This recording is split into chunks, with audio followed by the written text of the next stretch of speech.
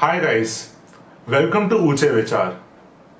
In our previous video, we saw the reactions from a Bengaluru FC fan and a Chennai FC fan on the AFC Cup playoff spot being given to Bengaluru FC instead. But now, let's talk about something good that is being done by the AIFF. In a recent announcement, the AIFF said that it would be giving a stipend of rupees 10,000 per player to every woodman footballer who is a probable for next year's under 17 World Cup. A news that surely brought about smiles on millions of Indian football fans across the nation.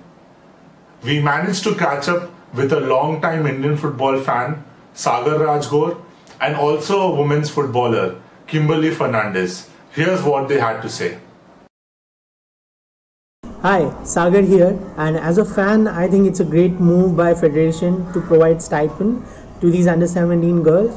We all know how important diet is in modern day football and in any sport for that matter. And this decision shows how serious they are about the development of these girls and about the under 17 World Cup that we are going to host next year. So, credit where credit is due.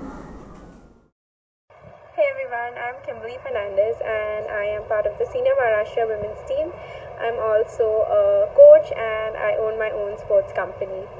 Um, so we recently got the news about um, the AIFF taking the initiative to support uh, the dietary regime of the Under 17 Women's World Cup uh, players of the Indian team by providing them with a 10,000 rupee stipend that they can then devote towards their dietary needs to take care of their nutrition and i think that's an amazing step because diet and nutrition is so important and we have overlooked it so often in the past and to see our federation taking this huge step is very promising and it is definitely a step in the right path towards a brighter future for women's football here in India.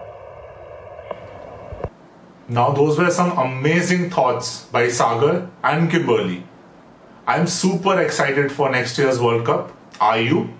Share your thoughts in the comment section below. Thank you.